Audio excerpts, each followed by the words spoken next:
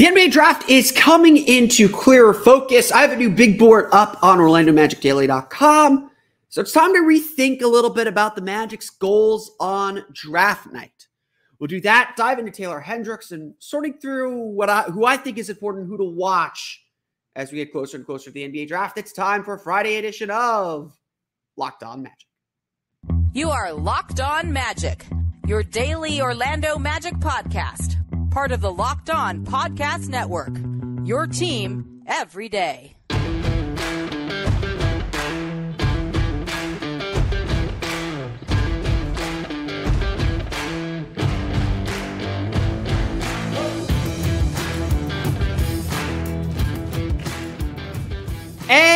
And you are indeed locked on magic. Today is June 9th, 2023. My name is Philip Rossman-Reich. I'm the expert and site editor over at OrlandoMagicDaily.com. You can follow me there on Twitter at PhilipRR underscore OMD.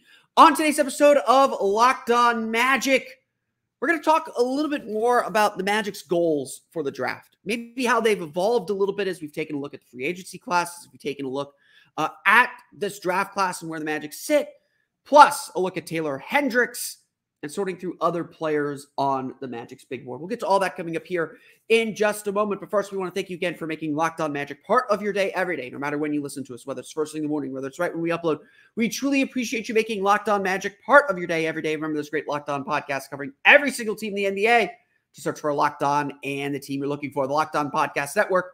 It's your team every day. Today's episode is brought to you by Bird Dogs. Go to birddogs.com slash locked on NBA. And when you enter promo code locked on NBA, they'll throw in a free custom Bird Dogs Yeti style tumbler with every order. Check it out today.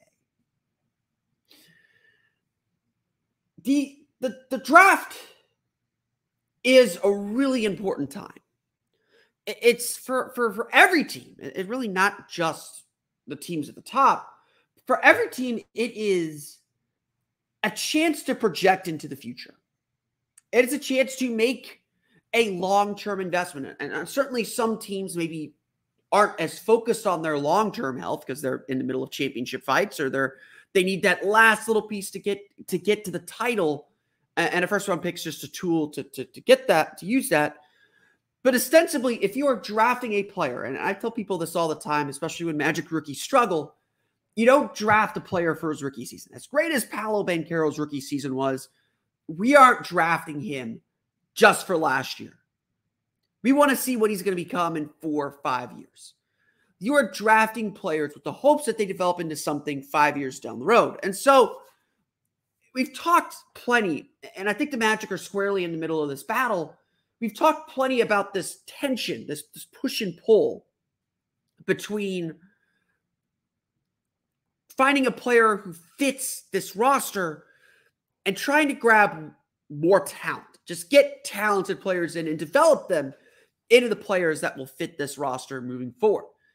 Certainly having a player like Paolo Banchero, having a player like Franz Wagner, even having young guys like Wendell Carter and Markelle Fultz and Cole Anthony and, and even Jalen Suggs, that does clarify what you're willing to stomach or, or, or clarify what pathways you want to go.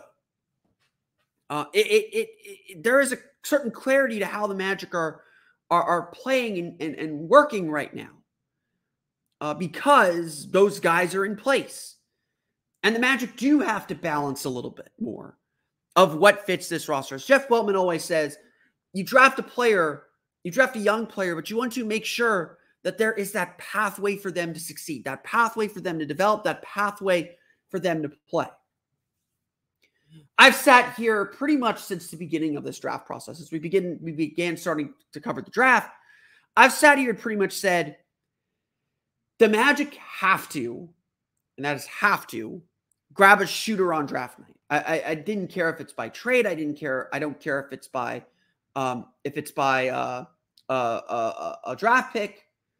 I feel very passionate that the Magic do need to get a shooter in this draft. That that is a need the Magic have to start addressing it and make clear they want to address on draft night. Now, free agency also plays a role in this. If the Magic do have do plan on throwing some money at Gary Trent Jr., that shooting need becomes a little bit less.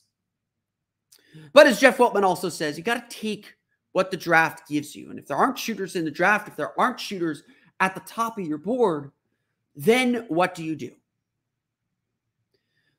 There are plenty of rumors going out in the universe. There's a rumor right now that the Magic are interested in moving up, that they have an interest in Amen Thompson, um, that there's all these things. And then obviously, I, I think some of it is the Magic have the sixth and 11th pick. When you have two lottery picks, everyone's going to use you as leverage. If there's another deal you're working on, you might say, hey, we've been talking with the Magic and, you know, they're interested. I, I, I am still fairly skeptical because I think the Magic are going to get someone that they like at six. Um, among the top six guys, they'll get Ausar Thompson or Cam Whitmore, and, and I think you know I, I, have my skeptic, I have my skepticism of Cam Whitmore, and certainly there are reasons to be a, to be a little bit skeptical of Ausar Thompson as well. But it, eh, those are two very very talented players that would help this team and I think that you do take you do take a long look at them. Honestly, if you ask me, I think that I think there are better odds that the Magic trade down from six to like eight, nine, ten to take Taylor Hendricks than there are that they they trade up from six to take Amen Thompson. But there is there is some philosophy in there to say why not trade up? Why not just throw these two assets into the middle and get that last bite at the apple. Essentially, the logic is this is going to be the last time the Magic are picking this high in the draft, or you hope this is the last time the Magic are picking this high in the draft. So why not maximize it? You don't need two more rookies. You don't need two more young players. You'll probably use the 36 pick on someone, uh, but you don't need these young players, especially if you're planning a big free agency. And so you can get one last bite at the apple of a very talented player.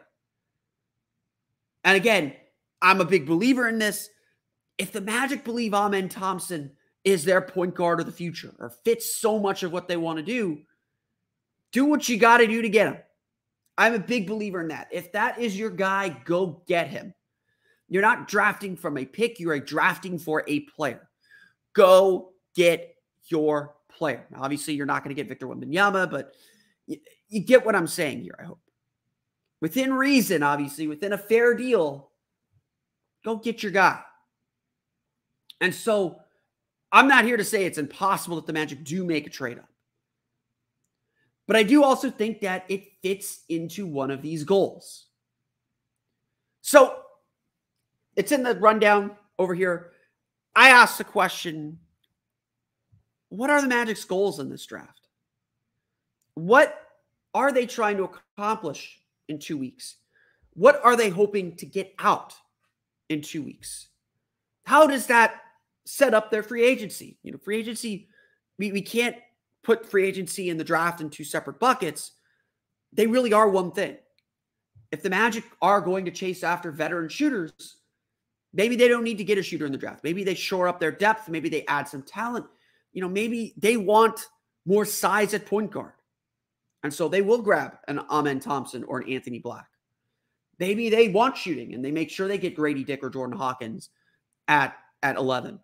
Maybe they want some forward depth. So they go after Taylor Hendricks or they make sure they get Taylor Hendricks or they try to put the position themselves to maximize their asset and come away with Hendricks. Maybe they're looking to get that backup center and fill that specific need. And they drafted Dereck Lively. Maybe they are really looking for one last bite at the apple and they just go talent over everything and figure they will make it work when he gets here. What are the Magic's goals for draft night? The Magic obviously aren't telling anybody. They're the Magic. They don't talk to anybody. They don't they don't let anybody know what they're doing. So again, I see all these rumors about and I'm personally skeptical that that they're really about the Magic. Probably really about something else. Then again, we will see what happens on draft night as we always do. But that gets back to the central question. This the central tension that we've been talking about and debating and thinking about and, and pondering because I'm, I'm I'm by myself, so I'm not debating anyone. But um, the central tension that we've been pondering about and trying to figure out what the Magic are going to do with. Are the Magic going to go for fit? Are they looking to fill positional needs? Or is this really about adding talent, top end talent, one last time?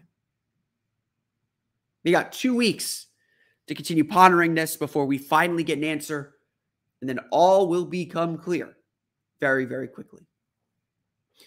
I mentioned him a bit uh, in that segment, a player that I think brings a lot of interest, certainly fills a lot of needs for the Orlando Magic. We'll talk about Taylor Hendricks coming up here in just a moment. But first, a quick word from our friends over at Bird Dogs. Bird Dogs are great pants. Just, just let, let me just say that plain and simple. You're looking for pants that are comfortable, that are breathable, especially here in Florida, um, that are going to look good no matter where you're at, whether you're at the beach, whether you're out on the golf course, whether you're at work. Bird Dogs is the perfect draft pick because they bring you versatility. Bird Dog stretch khaki shorts are designed to fit slimmer through the thigh and leg, giving you a truly sculpted look. They do the exact same thing as Lululemon, but fit way better and honestly look much nicer. they will think that you're actually wearing good pants. They are good pants, but nice pants. You know what I'm saying? They fit way better than the regular shorts and are made of a stiff, restricting that are made of a stiff, restricting cotton. They're not made of that. Bird Dogs finished the issue by inventing cloud knit fabric that looks just like khaki but stretches so you get a way slimmer fit without having to sacrifice movement. And that's big here in Florida. I went to the parks yesterday in jeans. That was a mistake. Bird Dogs use anti stink sweat wicking fabric that keeps you cool and dry all day long. If you're living in Florida and you're not wearing Bird Dogs, like I, I think you're probably doing something wrong. Go to birddogs.com slash locked on NBA and enter promo code locked on NBA for a free Yeti style tumbler with your order. That's birddogs.com slash locked on NBA for a free Yeti style tumbler. You won't want to take your bird dogs off. We promise you.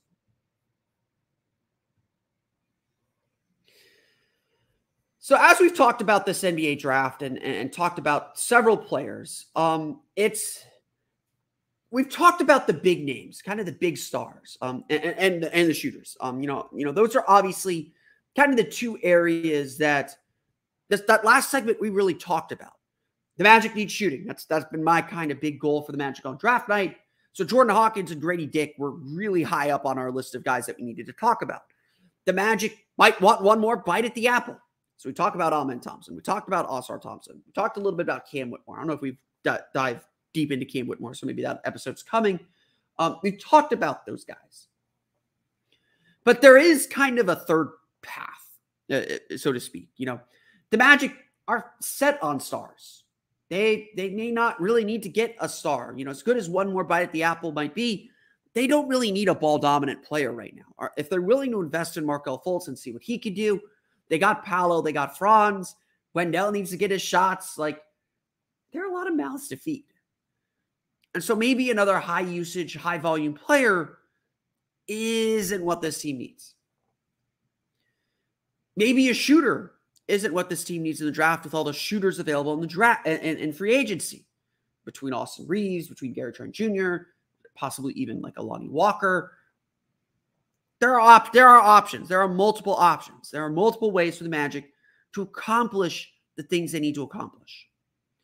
And so then what is that middle path? What is that secondary path for this Magic team to get something of quality out of the draft? That middle path is a guy like Taylor Hendricks. You can put him in a category with, say, an Anthony Black or Cason Wallace. Taylor Hendricks, to me, is the best of that bunch because his skills are pretty well defined he's pretty good already at the things he's going to be good at at the NBA. And if he doesn't turn into something more, he's going to be fine still. Taylor Hendricks represents a higher floor, perhaps a lower ceiling player in this draft. And that's not meant as an insult. Taylor Hendricks is a guy that's going to come in and be able to contribute fairly quickly as he learns, and, and there will be growing pains as there always are. And not only that, he's a guy that fits a need for the Magic. The Magic need a rim protector. They need a shot blocker. They need a guy that's going to help Mo Wagner out if he plays back They need a guy that's going to help Wendell Carter out and be able to switch and be big and block shots. That's Taylor Hendricks. Hendricks is a fantastic athlete. He runs the, runs the floor really well in transition, where I think he'll score a lot of his points in, in the NBA. But what he does really well is his versatility. We know how much the Magic love versatility, seven foot wingspan. Um, we know how much the Magic love versatility. He can get out on the perimeter and guard guys on the on the perimeter. He can guard guys in the post. He can come over from the weak side and block shots. He averaged almost two blocks per game at UCF last year. Hendricks has a lot, you know, Hendricks may not be the best player in this draft, but he has a lot of skills that fit what the Magic need because he also shot 38% from beyond the arc. Hendricks last year was the Knights leader in points, rebounds, blocks, minutes, and P- PR and field goal percentage. Measured at six foot nine with a seven foot point two five wingspan at the NBA draft combine. He has a lot of the skills that this man that this Magic team desperately needs. They're not looking necessarily for a score, but he can step out to, to at least 18 feet and comfortably shoot, if not out to the NBA three point line. And, that might take a little bit of development, but he'll get there. He can attack straight line and finish at the rim. He can block shots. He can defend the paint. These are things the Magic need. And and while the Magic certainly do have Jonathan Isaac, and, and they're very, very similar players, Jonathan Isaac's better than him at a lot of those things. Um, we don't know how long Jonathan Isaac we're going to have Jonathan Isaac. We, we, Jonathan Isaac just isn't someone you know you can depend on because of his health issues. And again, that could that goes away with one healthy Jonathan Isaac season. Let's be let's be real about it. Uh, but the Magic the Magic need a rim protecting big next to their centers right now as they're currently constructed. And so Hendricks to me fits a lot of the boxes. Now, do I think Taylor Hendricks will be an all-star? No. I don't think he has that potential. His he's just not not shifty enough offensively. He had a lot of games and a lot of big games where he got kind of bottled up. So I don't think he's your primary option. I kind of see him in the in the Trey Lyles role for for Sacramento last year. That that kind of player, the Kyle Anderson role for Memphis, where he is just a high level role player. Now, that's kind of the criticism of this is you don't use the sixth pick on a high level role player. Um, I would always say you take your guy. It doesn't matter where you pick him. Um, if your guy, just because your guy is projected to be eight or nine or ten, doesn't mean you should be, you know, be, you know, kind of be beholden to that go get your guy. If this is their guy, if they don't trust Cam Whitmore and they're stuck at six and they can't move down, take Taylor Hendricks. It's it's it, it, it's that simple, and it wouldn't be a bad pick. It would be a safe pick. Um, and, and safe isn't necessarily bad here because the Magic are trying to make the playoffs. The Magic do need contributions from these players. So to me, Hendricks is a fairly safe pick. A guy this Magic team can rely on and can trust to add something to the group, but also be a factor outside of it, but also be a factor and, add to it in, in, in major, major ways. Hendricks, there's obviously that little hometown thing uh, coming from UCF. He's, he's from Fort Lauderdale originally, I believe. Um, we saw him a lot here, and, and the guy the guy works the dunker spot well. He pops out the three point line well. He has all the basic skills to be a very good NBA player. He's not elite at anything, but the total package, the versatility, the athleticism, that's what has him this high in the draft. And I think that he'd be a great fit in Orlando. I think that he'd do really, really well here. And if the Magic are out on Cam Whitmore or Ausar Thompson, and, and like, look, I, am taking Cam Whitmore in mock drafts because I, I, I do I mean I am subscribing for the moment at least to the one more bite at the apple uh, theory of fit, a theory of need, um, or goal, or whatever whatever you want to call it. Um, I don't know if I take Whitmore Whitmore over Hendricks. Like I I I'm, I want to make the playoffs, and I think the Magic need to got, get guys that'll help them do that. And I, I think Hendricks does that better than Cam Whitmore. But we'll see what the Magic think in a couple weeks. When we come back, we'll sort through some other names and players on my big board, some big movers and some shakers. And, and, again, just talk a little bit more about how the Magic's goals fit into all this. We'll get into that coming up here in just a moment. But first, it's time for a quick word from our friends over at FanDuel.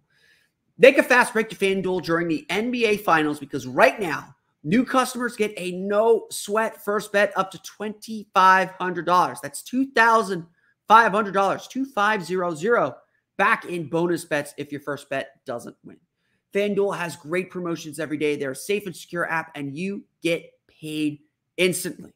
There's no better place to bet all the playoff action than America's number one sportsbook. So visit fanduel.com slash locked on and get a no sweat first bet up to $2,500. That's fanduel.com slash locked on. FanDuel, official sports betting partner of the NBA. So we are in the nitty gritty of draft prep. Um, you know, I was, I was joking with our friend Ku, Ku Khahil of Locked On Pistons. He pitched a trade um, to get the Magic up to five.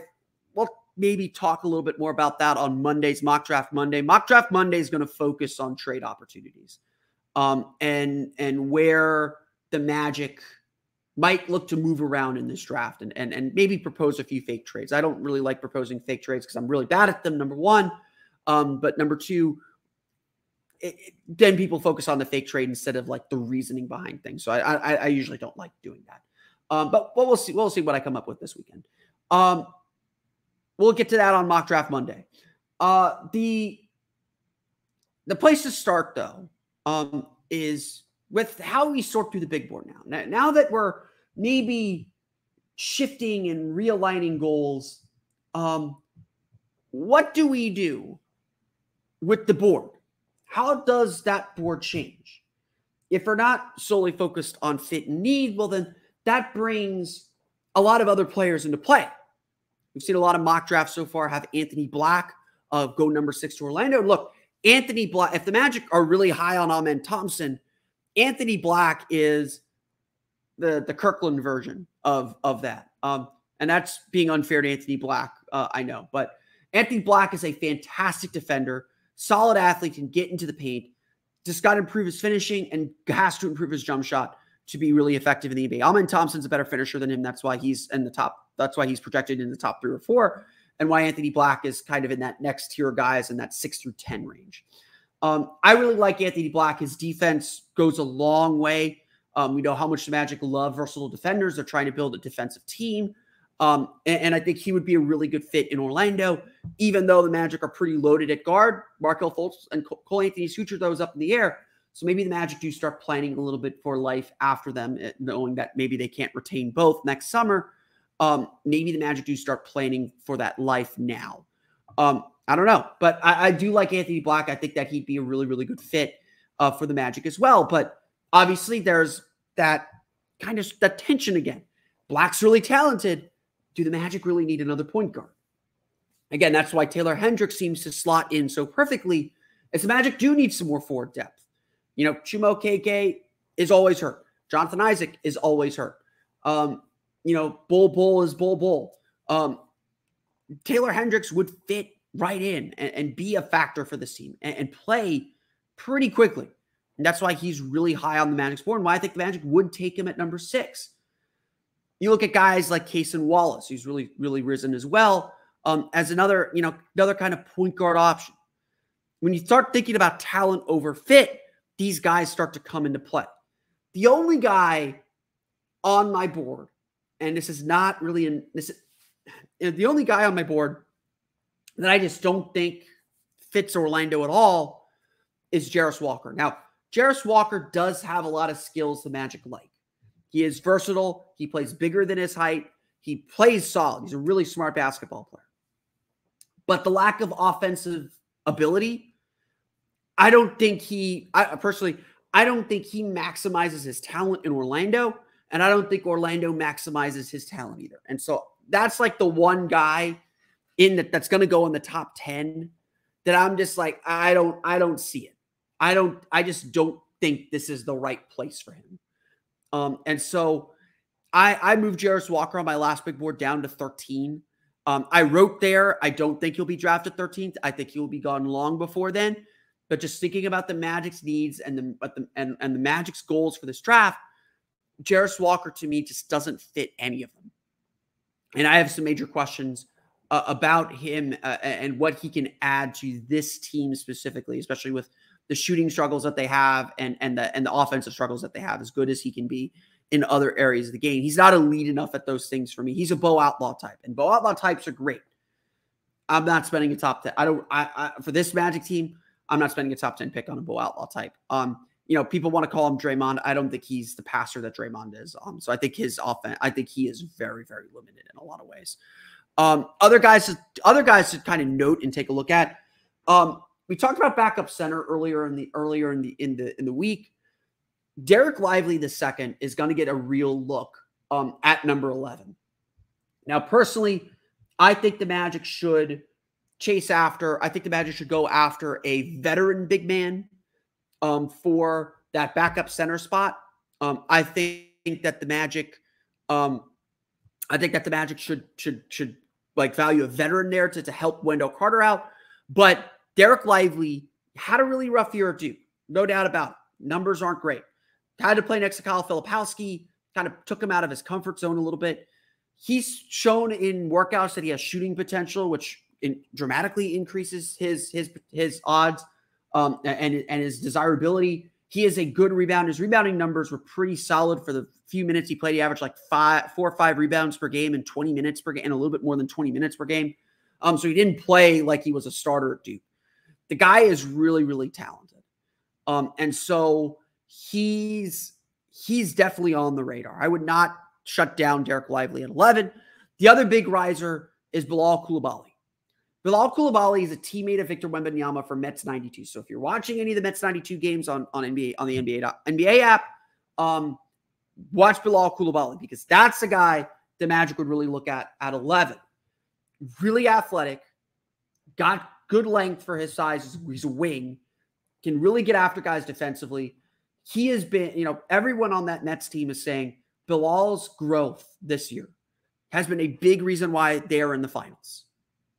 Bilal Coulibaly, really, really raw at the beginning of the year. Just really, really raw. Just, just not really able to do a whole lot. But now he is making plays defensively. He's making plays offensively. He's shooting a little bit. There's a lot to like about Bilal Coulibaly. He's obviously still got a long way to go in his development. But you're drafting, you're drafting for the future. And Coulibaly fits so much of what the Magic like and what the Magic do. But you know, you're taking a little bit of a gamble and you're making a little bit of a long-term investment. Coulibaly reportedly has a promise in the top 14. I've been joking with people that, well, if, if it was from the Magic, it's not leaking because the Magic don't leak anything. However, he is very much a Magic type player, and we'll talk about him in a little bit more detail um, before we get to the draft because I, I, do think the Magic might take him at 11. I, I think he is very much on the radar. That's good too for me today, though. I want to thank you all again for listening to today's episode of Locked On Magic. Of course, find me on Twitter at PhilipRR underscore OMD. Subscribe to the podcast and Apple Podcasts at your tune in Himalaya, Google Play, Spotify, Audacy, and all the places on the podcast to your podcast enabled listening device. For the latest on the Orlando Magic, be sure to check out OrlandoMagicDaily.com. You can follow us there on Twitter at OMagicDaily.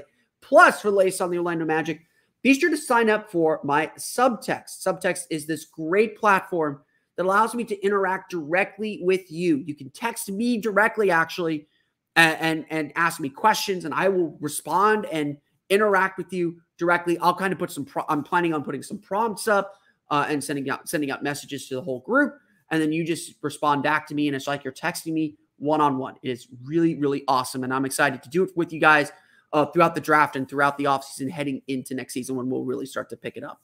You can check it out at joinsubtext.com. That's joinsubtext.com slash locked on magic. Check it out today. Um, I'll put the link out probably Sunday and, and, throughout next week as we start gearing up for the home stretch before the NBA draft. But that's going to do it for me today. I want to thank you all again for listening to today's episode of Locked On Magic. For Orlando Magic Daily and Locked On Magic, this has been Phil Rossman Reich. We'll see you all again next time for another episode of Locked On Magic.